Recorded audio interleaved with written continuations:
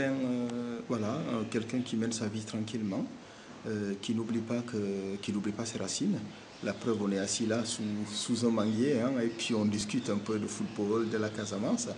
Et puis quelqu'un qui pense aussi au, à ce qu'il a laissé derrière, derrière lui, parce que je pense que c'est indispensable de temps en temps de se replonger dans son bain culturel, hein, à travers les actions, à travers les liens qu'on a avec la famille, les amis qu'on n'oublie pas, que ce soit ceux qui sont là ou ceux qui sont ailleurs.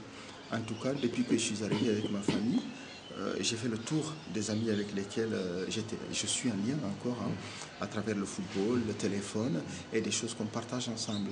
Je pense que ça, pour moi, c'est indispensable.